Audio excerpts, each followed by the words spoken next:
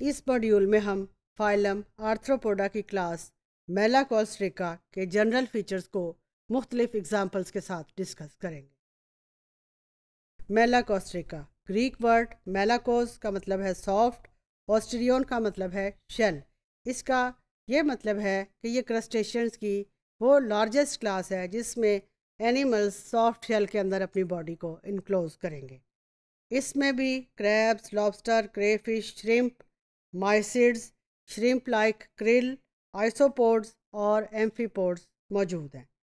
अब ये एनिमल्स जो हैं malacostracans they are normally abundant in all the marine environment और फ्रेश वाटर में भी रहेंगे कॉलोनी की शक्ल में रहेंगे। इसके अलावा टेरिस्ट्रियल हैबिटेट पे भी कुछ एनिमल्स हमें मेलाकोस्ट्रेका के नज़र आएँगे। सेगमेंटेड एनिमल्स हैं और they are united by common body plan comprising of twenty body segments कोई कोई ऐसा भी एनिमल है जिसके अंदर इसके सेगमेंट्स ट्वेंटी वन तक भी पहुँच जाती हैं और बॉडी इसकी को हम डिवाइड करते हैं हेड थॉरिक्स और एब्डोमन में। क्लास मेला कोस्ट्रिका के अंदर नॉर्मली फोर्टी थाउज़ेंड स्पीशीज़ जो हैं वो इंक्लूडेड इनकी जब सिस्टम्स की बात करें तो सबसे जो कॉमन सिस्टम बॉडीज़ के अंदर है, वो है डाइजेस्टिव सिस्टम अब डाइजेस्टिव सिस्टम जो है डाइजेस्टिव ट्रैक्ट जिसको हम कहेंगे दैट इज़ नॉर्मली स्ट्रेट और इसमें fore gut consist of short oesophagus and two chambered stomach और फ़र्स्ट पार्ट जो है that contains a gizzard like gastric mill इस गैस्ट्रिक मिल का या गिजर्ड का क्या फ़ंक्शन है? ये बॉडी के फ़ूड को ग्राइंडिंग में हेल्प करती है। बाकी क्रस्टेशियंस की तरह जो मेलाकोस्ट्रेकन्स हैं they also have open type of circulatory system जिसमें हार्ट जो है this pumps blood into the haemocoel body cavity from where it is supplied to the different organs according to their needs और ये organs जो हैं they will take oxygen different kind of nutri nutrients before diffusing back to the heart. अब जो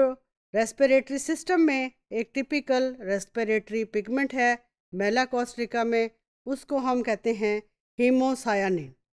और इसमें जो nervous system के लिए ब्रेन है ब्रेन में है मुख्तलिफ़ फॉर्म के गैंग्लियन गैंग्लियंस जो हैं they are close to the antennae there are also ganglions present in each segment of the body and there is a major collection of ganglion below the esophagus. अब Malacostraca का monophyletic group जो है that is widely distributed However, there are a number of different problems that indicate the relationship between different orders of the Malacostraca. अब इसमें Leptostraca इसका extant order है Phyllocarida का, जबकि बाकी दो ऑर्डर्स जो हैं इसके एराकोस्ट्रेका और हॉप्लोस्ट्रेका वो अब एक्सटिंक्ट हो चुके हैं। They their animals are no more living on this earth फिर stomatopoda is the only extant order of hoplocarida और जो दूसरे दो ऑर्डर्स हैं इसमें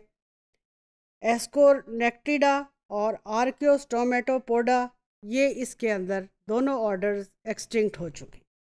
अब this is the typical example of class malacostraca showing its general features. You can say here abdomen, cephalothorax और फिर इसमें बॉडी के अंदर आई मौजूद है और इसका माउथ का जो पॉइंटेड एंड है that is said to be the rostrum antennules हैं, एंटीने हैं, ये अपेंडेजेस केला है,